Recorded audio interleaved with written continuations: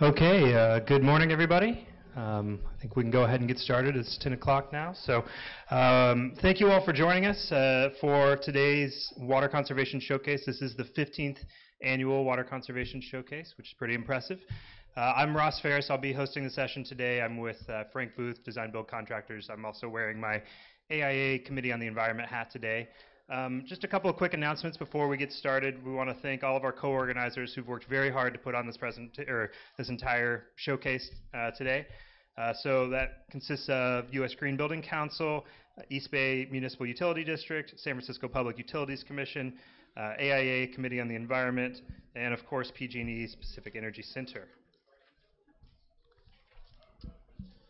Um, we, as, as, you probably noticed, we do not have any printed handout materials. All the slides uh, and the recordings of the sessions will be available on the website waterconservationshowcase.com. Um, it probably in a couple weeks, first week of April, something like that, so you can check back there. Uh, if you do need continuing education credits, uh, slides three and four will show the numbers for these sessions, one for USGBC, another for AIA, Again, you can also get that information off of the websites once the slides are posted to the website. Um, there are door prizes going on today, so if you are trying to win something special, uh, if you have your passport, you can go around to all of the different vendors that are out there. We have vendors on the first and second floor, uh, so make sure to get your stamps for that, and you can turn in your card uh, at the front desk downstairs. Um, restrooms, one is right outside the door here and off to the right, another downstairs just at the bottom of the yellow stairs. Uh, more importantly, fire exits. So the exit from this room, the best thing to do is just exit right out through this way. You'll go down the hallway, down the stairs, and it takes you directly out to the front of the building. Uh, from there, our reconvening location would be at the carousel over at 4th Street. So that's where we will reconvene in the event of an emergency. Uh, there are water dispensers available, you know, throughout the building. Uh, and then obviously lunch, something very important for everybody. Lunch is provided today, so if you're able to stick around for that, please do. Uh, it'll be available from 11:30 to 12:30 in the HVAC classroom, which is on this floor, just kind of in the back corner of the building. There, there's signs posted for that. There's some table seating in there available. There's also a room that's kind of directly behind us here uh, with some extra overflow seating there's a hallway off to the side that you can get to the room back there. There's signage out front for that as well. And if you have any questions about any of that, you can just ask anybody with a badge on. Um, so with that, I'd like to just also remind everybody, please uh, silence your cell phones. We will be holding questions until the end. Uh, and as I said, all the sessions are being recorded today, so it's really important that to get your question heard, we need to um, have it spoken through the microphone. So after our speakers are done with their presentations, I'll be running around uh, with the microphone to get questions. So um, with that, I'd like to introduce our speakers today, if I could turn the page. Uh, so we've got Erica Ross with PAE, uh, an associate uh, with PAE Engineers. Her primary focus is on water efficient plumbing designs for sustainable buildings. She's designed over a dozen LEED rated and registered projects, and she has provided, she's a provider of expertise for a wide variety of on site water reuse systems, including rainwater, graywater, and blackwater systems. Uh, and we also have Eric Hough from Natural, Inter- Natural Systems Utilities. Uh, he has over 10 years of experience in the design, construction, commissioning, and operation of water and wastewater systems. Uh, he has a background in environmental design, I'm sorry, environmental engineering, and is responsible for the successful delivery of over 50 water systems uh, with design capacities ranging from 5,000 to 8 million gallons per day. Uh, so without further ado, I will turn it over to Erica first. Can everyone hear me okay?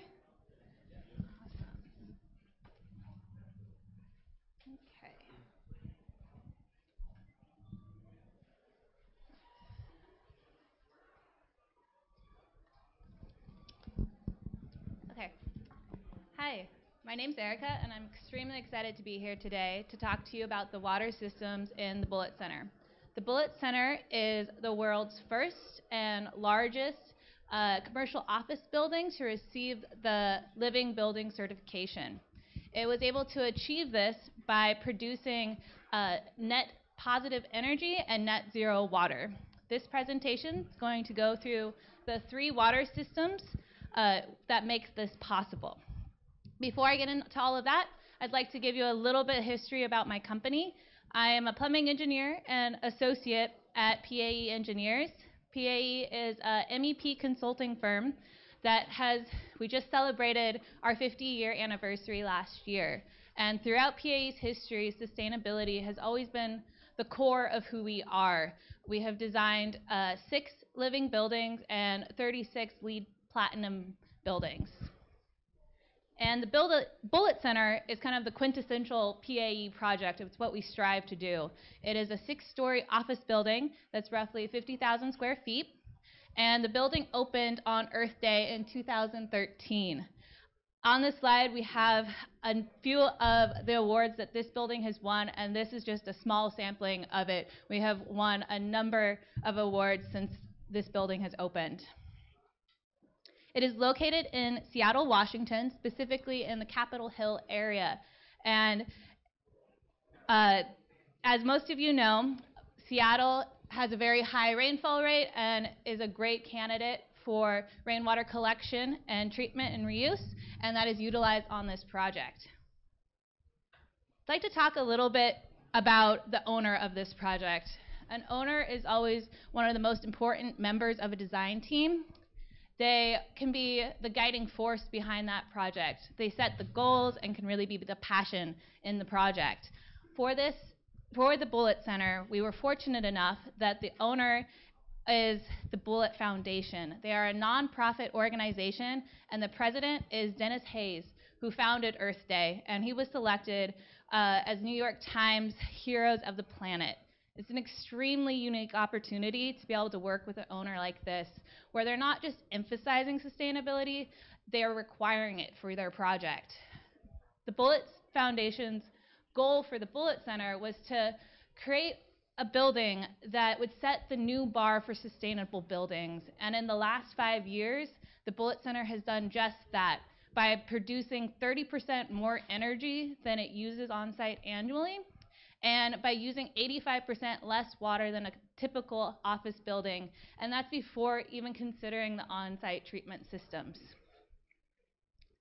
This is the rest of the design team. The architect was Miller Hull, who is a sustainability leader, and as I mentioned, PAE did the MEP design of the building.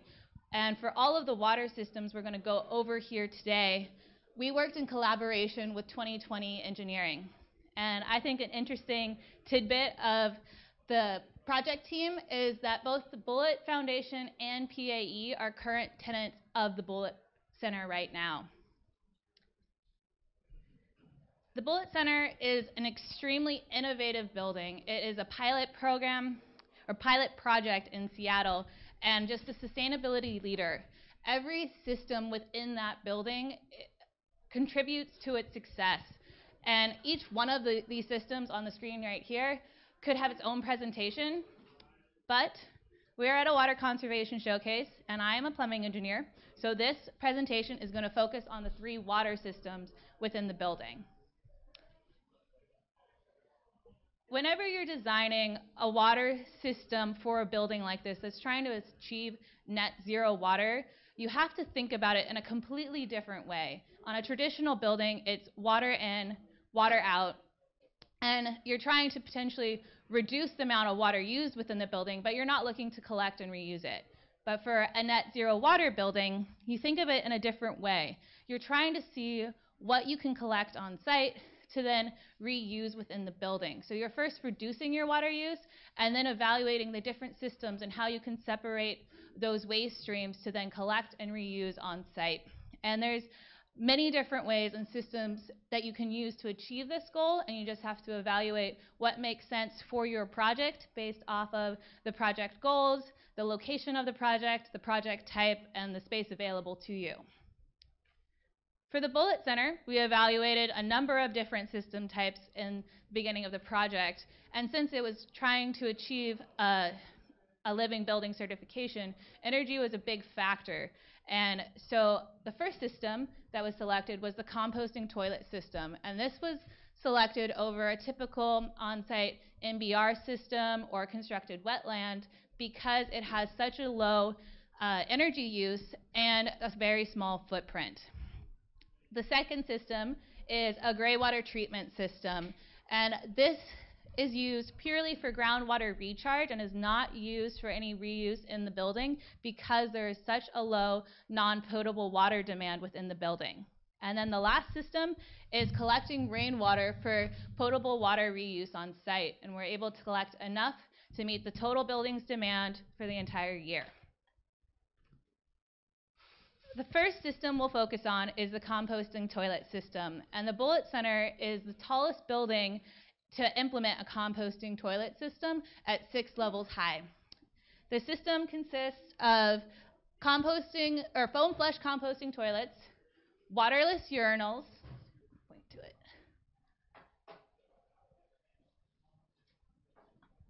Waterless urinals, uh, and then aero- aerobic composters in the basement, and then leachate tanks. The way the system works is that the waste is collected from each composting toilet separately and routed directly to the composters in the basement. This is pretty significantly different than a typical plumbing system where you would have one main pipe that all of the water closets or toilets are collected on each floor and connected to that main pipe.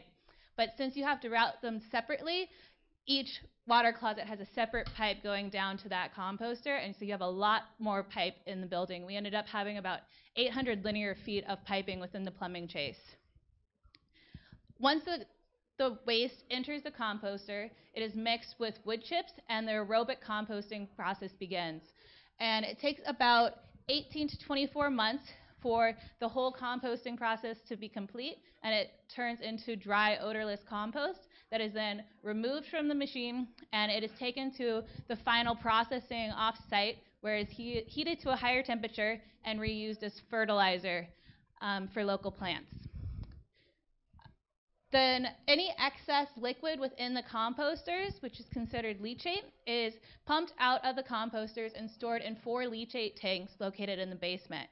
These tanks are periodically pumped out and emptied through a pumper truck, and that leachate is taken to an offsite facility where it is fully treated and reused on wetlands. I assume the majority of people here have not seen a composting toilet system in an office building. And thankfully, it is pretty different than any composting toilets you've seen in a park or on a campsite.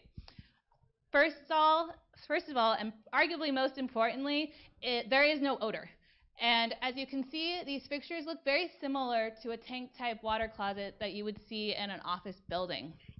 But the big significant difference here is that instead of using up to 1.6 gallons per flush every time this toilet is used, it only uses two tablespoons of water that mixes with a biodegradable soap to form a foam that coats the bowl. This is an image of the composters located in the basement. We have 10 aerobic composters, and they're roughly three and a half feet by five feet wide and about seven feet tall. And there is regular maintenance required for these machines, but we have received great feedback from our maintenance staff that it's pretty hassle free. And most of the maintenance staff would prefer to maintain th these equipment instead of cleaning the filter for a gray water system. The maintenance required is adding wood chips at the top slot of the composters here uh, once a week, and then three times a week you have to move the compost and stir it up. And that's done by, there's a wrench on the, the middle composter you can see. You connect that wrench to it and you just turn it. You don't have to open up the composters for that. And then after the 18 to 24 month period, compost is provide, or created, and it is this clean, odor-free, dry compost. And the Bullitt Center is able to create about 90 gallons of compost every year. Through maintaining this system for the last five years, we have learned a number of very valuable lessons learned. The first one was during the design phase, and it was it's regards to the fact that each water closet requires a separate pipe routing down to the um, composters, and that in large needs a larger plumbing chase to be coordinated. As you can see in this upper right-hand corner, by level one, you have a lot of pipe in that one plumbing chase, and if you don't coordinate that with architect early on, it's a big hassle and has a lot of conflicts with it. So if you can get that coordinated early on and design your plumbing chase accordingly, the system can work a lot better. Second is kind of an overarching lessons learned as for that anytime you can specify equipment, you want to specify equipment that's designed specifically, specifically for your application. In our case, we didn't necessarily have that luxury, and because it hadn't been used in an office environment before. And so this system is really designed for um, a park or a campsite where you have about five fixtures routed within the system. And so we have found we've encountered a few issues with it where it's just not operating at optimally of how we were anticipating. The first way is that you're not able to evenly distribute the load, which is pretty important. Um, since you have dedicated toilets routed to a composter, we have two floors that are, have a higher occupancy than the other floors, and so those composters that are serving those floors are getting overloaded. And then we have other composters that aren't being used as much as we anticipated. So now when we're looking at implementing a composting toilet system on future projects, we're looking into providing a composting system that is integrated with a vacuum waste system that allows you to connect your waste streams together and then evenly distribute amongst the composters. Um, since we have a few composters that are being overloaded, we're experiencing excess leachate or liquid issues within the equipment. And we are having to do post-construction modifications to be able to handle that extra amount of leachate. By, if you can see in this main picture, the unit on the right has a larger bar at the bottom, and that was installed to be able to have a larger volume of leachate stored within the composter. We also had to install a drain pan on a different unit. Um, another uh, post-construction change that I really recommend you anticipate if you're you're going to be specifying equipment that's not used for the application that it's originally designed for, um, is that we specified toilets that were still being developed because they hadn't been used in an office environment before. And when we went for, through construction, they ended up being 18 months behind schedule. And so we had to open the building with different toilets installed that used about two cups of water. And while as these toilets that we specified became available, we had to switch them out because these ones use two tablespoons of water. The next system we're going to go over is the gray water system. This system is uh, collects the gray water on site and um, treats it for groundwater recharge that, and that enables 60% of the on-site wastewater to return to the ecosystem. The gray water from the fixtures that are not the composting toilets or the waterless urinals, but it does include the kitchen sinks and the dishwashers and mop sinks within this building, are all routed to a 500 gallon uh, day tank located in the basement. From this tank, it is pumped up to constructed wetlands on level three, and the, the wetlands is where the treatment process happens. The water is cycled through these wetlands and until, until it gets to a, a treated level, and then it is routed down to uh, infiltration planters located at grade. These planters were incorporated into a building into the building, so they're prominent aspects of it. They're proudly displayed, and I think it is a great example of integrated building design where challenges can become opportunities. We had a number of lessons learned for this system as well. The first one was that if you do not have an oxygenated tank, the tank needs to be able to fully drain every day. When we, our first tank that was installed sat on the basement level slab and it wasn't able to fully drain. And so you had a small level of water at the bottom of the tank that was stagnant and it turned septic. We ended up having to rip out that tank and install a new tank, which is this silver box here that is slightly elevated, and that allows us to fully drain the tank every day. The second is that you want to be able to filter down uh, to a smaller particle size than the holes within your percolation pipe within the wetland. The system was originally installed with a filter that treated down to a 16th of an inch, and the percolation piping in the wetlands had holes that were a sixteenth of an inch, and they, these holes got clogged. So we ended up replacing this piping with holes, piping that had holes that were slightly larger.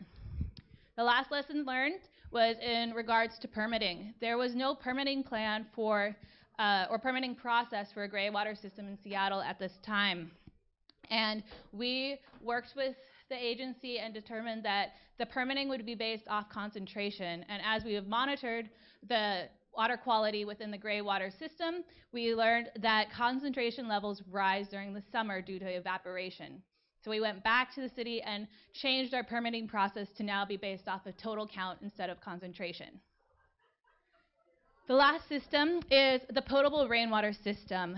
The rainwater is collected from an expansive 7,000 square foot solar array on top of the building, and then it is routed to a 56,000 gallon cistern located in the basement.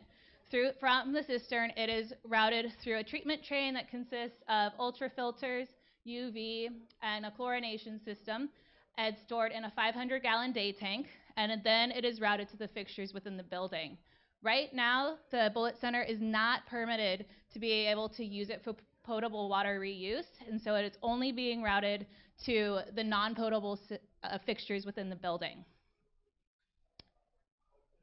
A major component of the rainwater design has been the regulatory process. And it has been a challenge we have faced for all three of our systems. Each system had a different code governing agency that we had to go through for the permitting process. And for the rainwater system, since it was trying to be reused within the building for potable water use, we ended up getting all the way up to the federal level, and we had to meet the EPA's Safe Drinking Water Act. And this is actually requiring the Bullitt Center become its own water district. So the lessons learned and the biggest lessons learned we learned from the rainwater system is anticipate a long regulatory process if you are trying to reuse uh, treated water on site for potable water reuse. Um, it has been five years since this building has been operational, and we are still working on getting that permit. We are currently in a two and a half month long testing process. And fingers crossed, by the end of that process, we will have our permit for potable water reuse. The second is, whenever possible, work with your reviewer as soon as possible within the design of the project. This allows you to get their feedback of what their requirements are going to be, and you can incorporate that into the design as early on in the process and get that all coordinated. And then lastly, we're learning that it's very likely, at least for a while, that if you are trying to use potable water re reuse on site, that your city will require you to become a water district. Now we're going to look at the actual performance of how the Bullitt Center and the water usage. We, this graph is based off of the 2017 measured water data, and it we found that it's using an average of 1,200 gallons per week, and this is 85% less than a typical office building.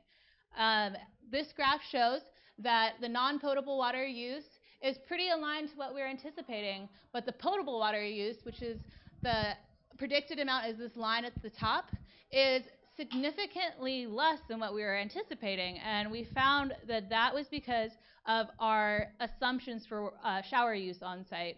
We assumed that 25% of the full-time occupants would be showering daily at the building, and we're just not seeing that usage pattern. The second thing monitored is the rainwater cistern levels. And the general volume of the cistern is about where we were anticipating it. We never really saw any large or significant drops in the level of the cistern, so we'll be able to meet our, our, non, our potable water demands within the building. But an interesting thing we found was that in the winter months, we are continuing to see the cistern levels drop, and you would anticipate, based off heavier rainfall rates in those months, that the cistern level would rise. Luckily, this is something that the building engineers noticed as well, and they were able to go and look at the system and found that the inlet filter was clogged, so they were able to clean it, and now we are having the cistern fill again. The last water data that is measured for the building is the gray water, influent, and effluent uh, levels. And an unexpected finding we found was that for the permit, we need to be around thousand coliform units on average per year. Uh, and in February, we had this high spike of coliform units, so about 2,000. And again, luckily, since this water er, data is monitored, the building engineers found this and were able to modify that how often the water is pumped from the day tank up to the wetlands. And it used to be every 10 minutes. They increased it to every five, and now we have coliform levels back within permitting range. So the main, I wanted to su- end it with a summary of our main lessons learned and how it kind of they apply to all the different systems within the building. The first is project scale. This applies to both the composting toilets and the rainwater system. For the composting, we were ended up installing a system that really is not designed and is too small for the system of the building, and that has led to some construction changes and maintenance issues. For the potable rainwater system, we're able to save about 1,000 gallons of potable water per week with the system, but it's requiring us to become a water district. So that really needs to be evaluated if that is a strong goal and, and if that works with your project scale. The second is regulatory challenges. This was, I talked about with both gray water and rainwater treatment, and we're still, it's a still a large, big hurdle that we're having for the potable rainwater system. Then lastly, and I think most importantly, is so things that encompass all three of the systems, and that would be owner buy-in. For an innovative project like this, is it, it's extremely important to have your owner on board and understanding that you are doing experimental design if you're having a project that's so innovative, and that not all of those exper experiments are going to go as planned, especially the first try. But if you have your owner anticipating that and excited to be on board with you, they want to be going through this journey. Um, and kind of goes hand in hand with that is post-construction modifications should be anticipated. You're doing an experimental design, things aren't going to go as planned, but if you're monitoring your water data, you'll be able to react and make changes as needed. And then lastly, accurate design assumptions can save money. If we were able to more accurately predict our potable water use within the building, we could have potentially had a smaller cistern size and a smaller treatment train. Um, but if I could leave you with one takeaway from this presentation, I would really like it to be that net zero water building is possible. Yes, it has been a little bit of an uphill battle, and we have fallen a few times along the way, but each time we have fallen, we have learned something, and I'm here today sharing all of these lessons learned with you in hopes that we can all take these lessons and apply it to our next project, and we can continue to push the bar even higher because it's with buildings like the Bullitt Center that we are actually truly able to have a positive impact on the planet. So with that, um, I'm going to pass it over to the next presenter, Eric. Thank you.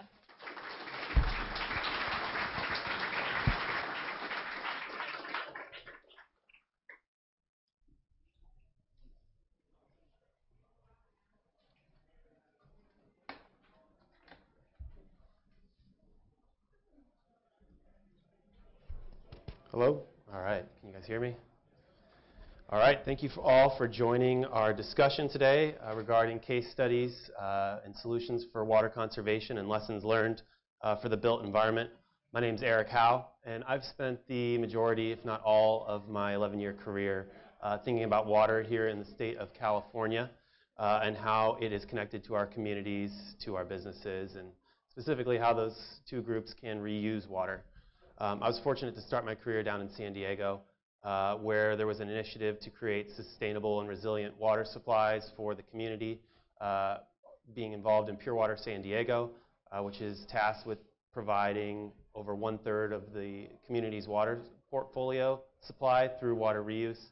Uh, since then, I've done projects in the mining and oil and gas uh, industries, what I call the dark days.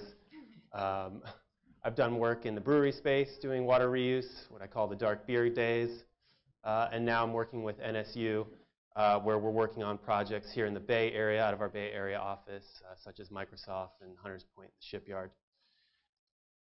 Um, a quick background on NSU. Um, so our company, we provide uh, sustainable, resilient, and cost-effective water reuse solutions through a turnkey design, build, and operate uh, service platform. We take the risk and responsibility for the systems we design, and then we guarantee the performance of those systems through our ongoing operation. Uh, we also have a long history in utility ownership and asset management, which has allowed us to invest in some of these projects, um, which has been a great fit for owners who want to uh, realize the sustainability benefits, resiliency benefits, but maybe have uh, capital constraints where they're looking for financing solutions. Uh, we've been in the business for 30 years, and in that time, we've designed, built, and currently operate over 210 systems across the USA and Canada. Um, and our team consists of around 125 employees. Uh, that's our licensed engineers, project managers, construction managers, and of course, the lifeblood of our company is our operations team. Um, we've provided, been provided the opportunity to speak here today, um, and as some of the new buildings are topping out here in the city uh, and coming online, you're starting to hear more and more about the many advancements that these buildings have adopted to address sustainability and resiliency challenges. Um, and one such uh, technology is the incorporation of in-building water reuse systems, commonly referred to as on-site water reuse or decentralized water reuse. Uh, and so we thought that it would be uh, great to talk about um, one of the districts that really helped pioneer this approach um, on the eastern side of the country, um, Battery Park City. So um, we're going to talk about Battery Park City. We'll talk about one of the specific projects within uh, the district, system design considerations, and challenges and lessons learned. Um, so for those who are not familiar, Battery Park City is a 92-acre redevelopment district uh, in lower Manhattan, just adjacent to the financial district. Uh, they adopted the mission for sustainable redevelopment uh, in this area. And so dating back to the late 90s, as new projects and new buildings were going up, um, developers were tasked with meeting the most stringent uh, sustainability standards at the time, mostly modeled after the USGBC program. Uh, this opened the door to innovation at a whole new scale, uh, where NSU and the developers, we were able to design and build the first uh, in-building water reuse system for a residential high-rise at the Solaire building. Uh, fast forward 15 years, you know, we still operate the system at the Solaire, uh, and our services in Battery Park City alone have expanded to eight different buildings in the district. On the right, we have uh, a map of the district, uh, Battery Park City, um, and in red, you can see the various installations uh, that we've completed. Um, what do each of these systems have in common? Um, each building is collecting all the combined wastewater streams, so that's their blackwater wastewater stream from these residential apartment buildings, uh, and they are processing that water on site and delivering that back to the bu- building for beneficial uses. Uh, the net result of the district is we're now capable of supplying over 61 million gallons per year of renewable water sources for the district and are servicing over 2,000 resident uh, dwelling units in doing so. So that's the quick overview, and what I'd like to do is give a little bit of a deep dive into one specific uh, project, the Solaire buildings, uh, where we can talk about results, our lessons learned, and how NSU continues to enhance our service delivery to improve sustainability benefits and reduce the costs for operating these systems. Uh, so starting in the late 90s, the project was designed to treat blackwater and provide non-potable water for each of the 293 residents. Um, the project incorporates a 25,000 gallon a day uh, in-building blackwater system, which serves non-potable water for toilet flushing, for cooling tower use, and for irrigation and sidewalk washing. Uh, water reuse was a key strategy which enabled the developer to obtain LEED Gold in 2003 and recertify the building as LEED Platinum in 2009. Uh, first flush for the Solaire took place in 2003, and data collected since that time indicates that we've been able to achieve a 48% reduction in potable water use and a 60% reduction in terms of sewer discharge. So with that, I'd like to give you a little bit of background in terms of how we developed the project. Um, and so the first step for any project is to create a water balance. Um, the goal of a water balance is to define the flow of water in all manners uh, and capture the various inputs of chemicals and energy along the way. Uh, to do this, we first look at the demographics of the building or the development, um, whether that's a district, uh, in terms of number of units, average occupancy, type of fixtures, uh, gross square footage. And within that, we'll look at the various use types, whether that's residential, office, uh, commercial, because they all have different wastewater and, non-potable demand or profiles. Uh, we use this information to create a projection for the total amount of wastewater that will be generated on site or wastewater supply. And then we compare that projection to a projection for the non-potable and potable demands uh, for water on site. Um, again, those non-potable demands consist of water for cooling tower use.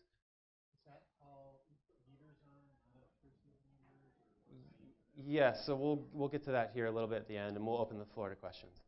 Um, so, uh, sorry. So again, non-potable demands consist of toilet flushing, uh, cooling tower use. Uh, in 2010, they approved the use of laundry, uh, and then irrigation for any green space, whether that's green roofs uh, or surrounding park area. Um, again, the graph here showing the demand profile for the Solaire uh, um, is typical of a building in Battery Park City. Uh, and what you see is that there are peak usages in the you know, warmer summer months due to increased demand in the cooling towers.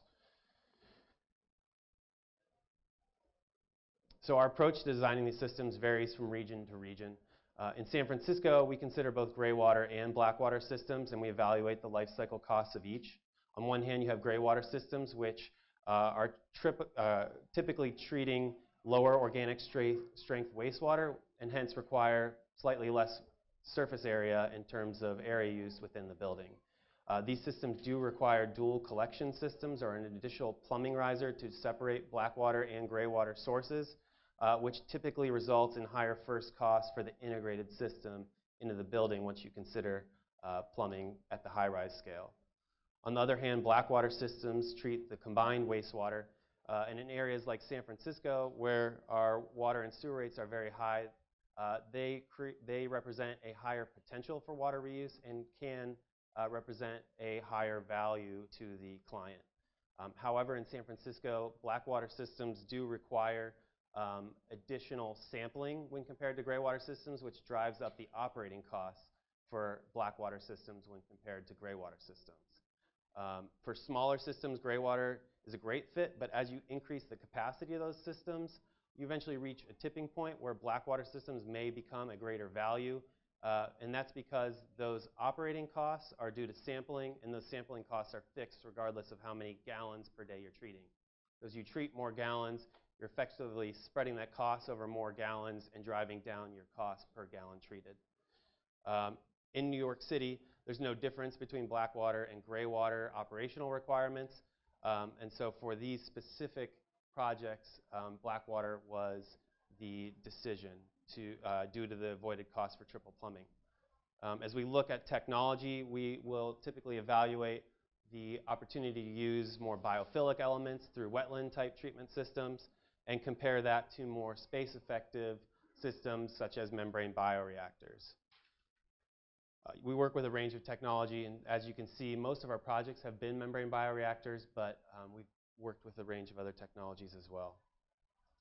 Um, so again, no surprise, since we're talking about real estate in Manhattan, the system selected was a membrane bioreactor.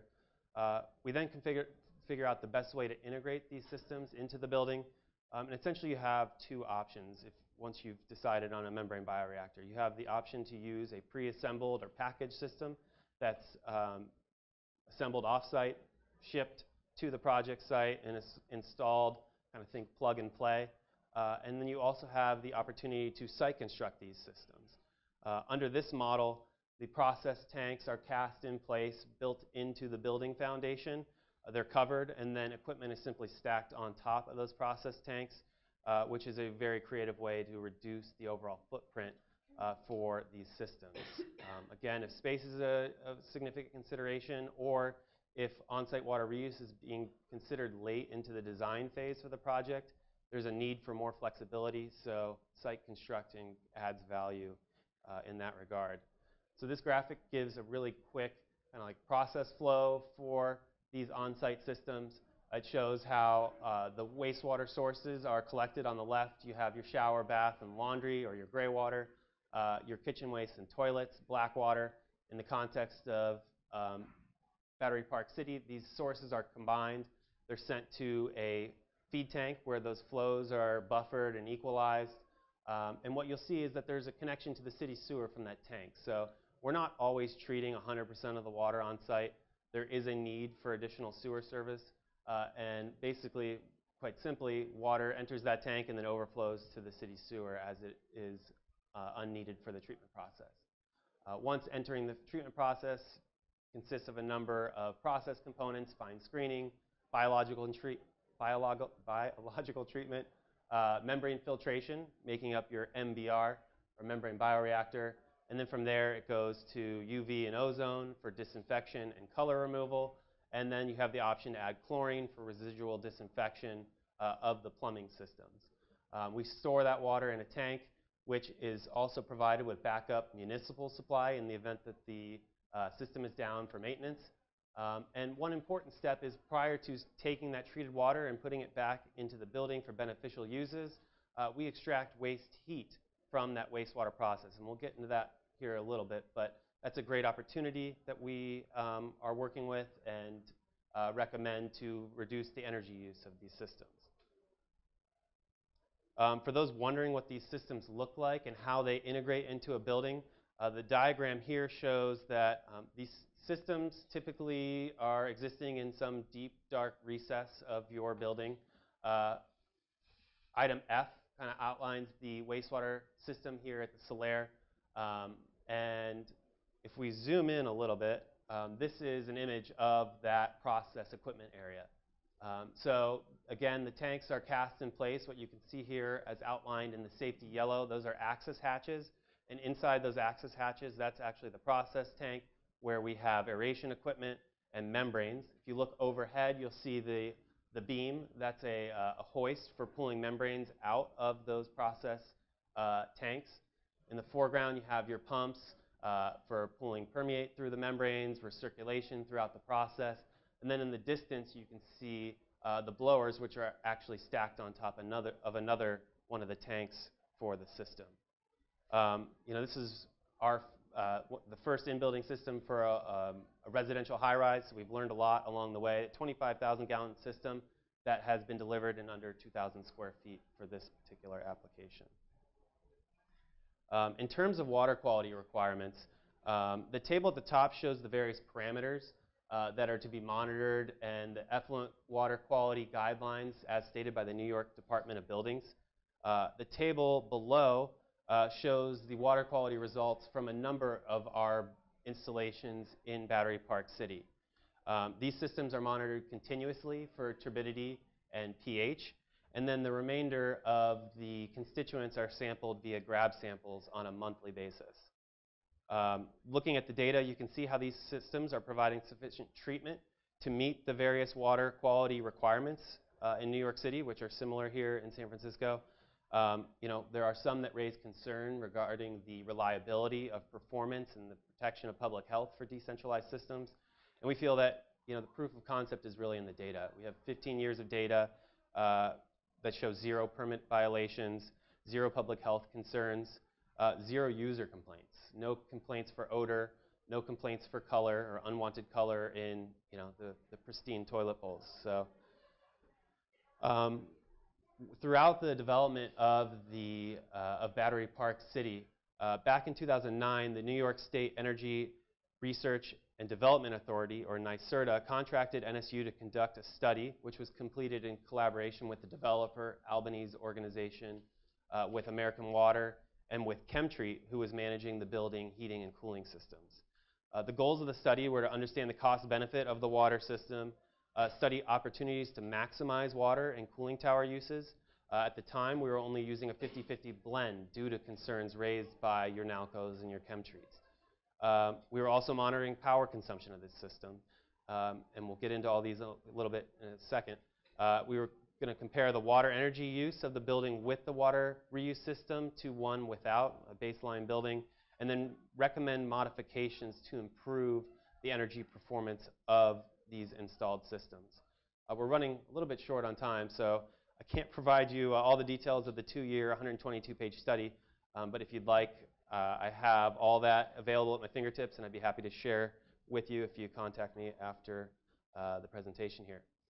Uh, so the first step to understand the energy use of these systems, uh, the study team installed uh, power meters on all of the various power supplies to the various uh, process treatment components. Uh, pretty simple, collect data, analyze data, and in doing so, we learned a lot about the energy profiles for these systems, uh, which actually enabled us to develop operational best practices to drive down the energy requirements by anywhere from 10 to 35 percent. Um, as you can see from this diagram, process aeration is the major energy consumer here, um, followed by the booster pump, actually, which is required independent of whether you're using water reuse or not in New York City, given that you need to pump water up into the house tanks uh, within the building. Um, you also then have, um, you know, followed by that, your next big users are for disinfection. Uh, you have ozone, UV, and, and also for odor control. Um, buildings use a tremendous amount of energy for water heating. Uh, depending on where you are, that number can be as high as 30%. Um, and that energy typically is going down the heat, uh, down the, the sewer in, in, the form of waste heat. Uh, and in the context of a building with on-site water reuse integrated, about 5% of a building's energy demand is uh, dedicated to powering the process treatment equipment. Um, in the context, again, of Solaire or one of these high rises in Battery Park City, uh, that's around 350 kilowatt hours per day for that 20, 25,000 gallon a day system. Um, there's a tremendous amount of embedded energy in all of that wastewater, um, again, due to the addition of heat through processes like laundry and processes like shower uses uh, within the building. Um, that amount of heat is around four times the amount of energy actually needed for treatment. And so by integrating a thermal energy recovery system into the building, uh, we are now able to recover a large fraction of that waste heat and provide that back to the building, uh, essentially preheating boilers, which allow us to demonstrate a net zero or even net energy positive uh, on-site water reuse system at the high-rise scale or larger. Um, so how does this work? It's, it's relatively simple. Um, we simply, we treat the water, we put it in a tank, we put a heat exchanger in that tank where we extract 10 to 20 degrees F of waste heat. Um, we transfer that heat into the incoming potable supply via heat pump, uh, incoming potable supply to the boiler system, effectively preheating boilers. Um, the benefit there is we're able to reduce um, boiler natural gas use by around 65,000 BTUs per hour at this particular scale. Um, that results, you know, if you pencil it out, that's around 400 kilowatt hour per day uh, energy benefit. Um, another important result of the NYSERDA study was, was the water quality analyses performed by ChemTreat. Um, again, when we started the project, there was concerns by the building uh, cooling tower managers. They only wanted to use 50% of the reused water. So uh, to address these concerns, the study performed water quality analyses, which included pH, conductivity, uh, concentrations of total hardness, calcium hardness, magnesium, phosphates, a range of other constituents associated with fouling and corrosion in, in heating systems and cooling systems. Uh, corrosion coupons were, uh, corrosion coupon tests were performed, and the initial results actually showed that there was corrosion uh, taking place on these uh, test coupons, uh, and the reason for that was the accumulation of chlorides in the closed loop water, non-potable water reuse uh, network. Uh, this was caused by the continuous addition of chlorine or sodium hypochlorite uh, into the non-potable water. And so to address this problem, we implemented an operational program which reduced the use of chemicals, basically intermittently chlorinating um, as needed to maintain and address Legionella concerns in, within the building plumbing supply.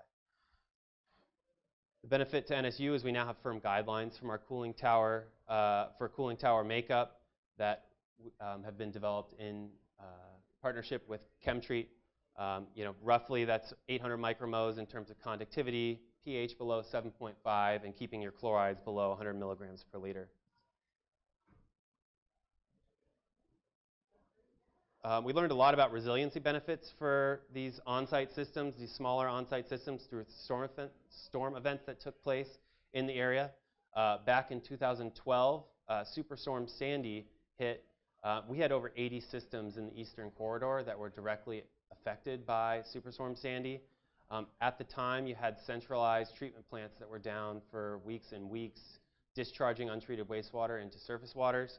Uh, and throughout that storm event, not one of our 80 systems uh, went down. We, every one of those systems remained in compliance, uh, no violations for effluent permits um, throughout that entire storm event.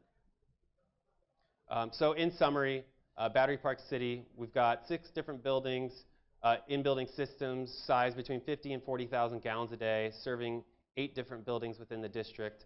Uh, 2,000 residents who are now capable of using up to 160,000 gallons a day of reclaimed water. 15 years of operating data, zero permit exceedances, zero user complaints. Um, we're achieving 48% reduction in water use, 60% reduction in sewer di- discharge. We're now capable of reusing or using 100% reclaimed water for cooling tower makeup and for laundry. Um, we've shown how these systems can achieve net zero and net energy positive implementations. Uh, and then there's a range of benefits to the community in terms of reducing the strain on municipal and centralized infrastructure and delaying uh, needed upgrades, uh, reducing environmental impacts due to combined sewer overflows by reducing the amount of wastewater that's going down the drain, um, and then improving resiliency in water treatment and water supply uh, for the community. You know, our water challenges in California and the arid West um, are nothing if not broad. Our water supplies are under constant pressure um, from climate change, persistent drought conditions, uh, and increasing populations. And we can't control how much and when rain will fall, but we can control how we reuse water. And we feel that education is really the key there, and integrating water reuse into the built environment will spur residents, will, spill, will spur office employees to think about their connection to water, um, and hopefully think about a different way uh, for the future. So with that, I think we'll open it up to questions. Thank you. All right. Thank you both. Uh, yeah, so we'll open it up to questions. I'll run around here with some mics. Um, make sure, please speak your question into the mic. Yeah, hi. Question for Erica about the composting toilets.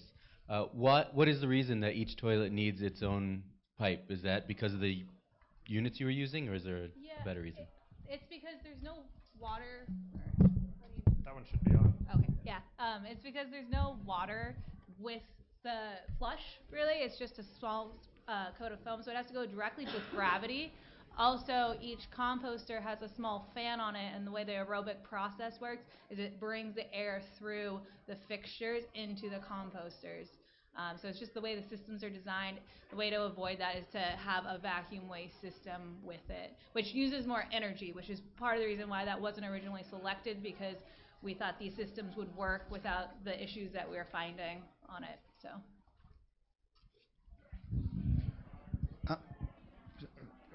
Thank you. Um, Two quick questions. One is, I I think, Eric, you touched on it, but justifying the capital costs and the OM, O&M costs. Erica, that sounded like that would, that'd be a hard sell when, with an owner. And then, uh, the follow-up question is, is source control of, again, Eric, you touched on it, but uh, one of the issues is there's a lot of chemicals in water source, even from the rainfall, um, that have not traditionally been tracked, and is there any tracking mechanisms for those? Yeah. Uh, yeah, so for on the owner's cost, it, that's why bec- water costs are just not very high. So the payback on systems like this is always a difficult struggle. Um, and so if you have an owner who's wanting to implement a system like this for other reasons, for the sustainability reasons, and to show that we can do a project like this, it you always try to mitigate it and make the costs as less the least small as possible. Um, also, with San Francisco, with the now the non-potable water ordinance, it's becoming mandatory. So we're trying to find systems that work the best for each system and as cost-effective as possible. Yeah, and And- in terms of, for, for your follow-up question, in terms of, you know, tracking of chemical constituents, um, you know, what I can say, I don't know what you're referring to exactly, but um, in terms of constituents of concern, but. Sure. So, you know, I, what I can say is that uh, in the implementation of these systems, you know, public health concerns are priority number one, and robust, very robust studies have been um, conducted to analyze the impact to public health, uh, and all the regulations that have been established are reflective of the learnings taking place there. Uh, My is for Erica. Um, At this point, is there now a composting toilet that exists on the market that would better serve your, your original purposes?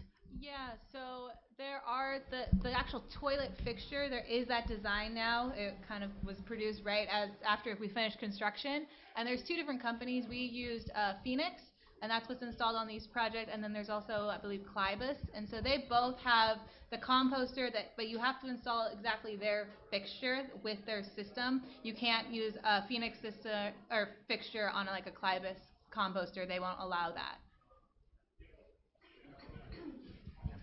Is ready? Howdy. So I've actually one of the few. I don't know how many people have been to the Environmental Innovation Center in San Jose, and then also been to the Bullitt Center.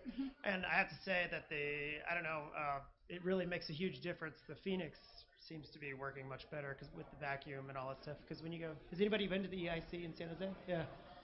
I don't know. In the male in the male restrooms, it stinks, so it doesn't work as well. They have the composting toilets as Oh, well. okay. So I, I'm sorry. That's that's the comparison. I was able to see the Phoenix versus the Clivus. and- yeah, and I think that that was like a really cool thing about Bullitt that I don't know if you thought about a lot or how much time you spent, but it seems like things were just done, specified and done better at the Bullitt versus the EIC. Not that I, I love both, but I'm just saying. I Yeah, so the system is operating how we want. There's been issues with the maintenance of it, and there's little things that aren't quite what we anticipated, but the primary function is doing exactly what we wanted it to do with reducing the water by the 96%, and there is no odor. We have had no issues with odor. It's operating how we want it to. Uh, Two questions. Um, Do you have NSF 350 certification for this? Is that something like in LA, that's National Sanitation Foundation, that's what you have for, have to have for uh, recycling systems? And then the other is for um, uh, catching uh, storm events. Do you have a system for that, or does this also con- uh, collect storm, stormwater? So stormwater is a case-by-case basis. These systems in Battery Park City did not integrate stormwater, but that is a potential opportunity to integrate. In terms of uh, NSF 350, I believe that's um, a requirement for a lot of the membranes and, and treatment technologies for validated purposes, if I'm not mistaken. So So, yeah, normally it's at a, we're putting it, we're getting tested in the. They take multitude of tests. Correct. So each of those technologies is rated as NSF 350. So we're not a technology provider. We don't manufacture the systems. We will look at the available technologies on the market and make recommendations and integrate that. We're more or less integrators of those technologies. This is really a question for both of you. I'm interested in your opinions on the feasibility of retrofitting any of these systems into existing structures. You want to go first? Sure. Um, I would say for a composting toilet system, it would be extremely difficult because you needed to have a straight stack to the basement and have space for it. Um, and a lot of just typical office buildings, unless you're designing with that system in mind in the very beginning, it would be very difficult for a retrofit. If you do a vacuum waste and combined with the uh, composting, it would definitely be feasible. And then for the gray water and the rainwater, I definitely see how that could be incorporated within uh, retrofit. It would just be finding the space for either the constructed wetlands or if you went with an MBR system. It's always just finding space within the building, but the other systems are much more flexible than a composting system. Yeah, to add to that, it's a you know great point, and to add to the space constraint for us, it's about the existing infrastructure within the building. You know, if that building is dual plumbed and has a way to provide that non-potable water that's treated on site, then there's an opportunity, assuming we have space. Uh, and then within that, you know, I've seen retrofits take place. It's just a matter of kind of considering a few of these constraints. It's never the easiest process, but with a little bit of creativity, you can make it happen. This one is for Eric. Uh, With the uh, buildings in New York, if you could give me an idea, I I saw that you, well, heard that you have your own team of operators. If you could give me a sense of how much time in a man-hour day an operator is working in one of those buildings, and also what it, what does New York require in terms of licensing for these operators for these distributed systems? Sure. So in terms of man-hour requirements or labor requirements, our operators on site two times per week for roughly four hours a day. So in total, around eight hours a week. Um, within that, we're doing our sampling on a monthly basis for the various constituents we need to report on. Um, in response to the operator grade requirements, I believe those are they're, they're all, they must be state licensed operators, and I believe the requirement's a grade two uh, for these systems in Battery Park City, which, which is equivalent exactly to here in California. Any other questions? No? All right, well, thank you all both very much for participating.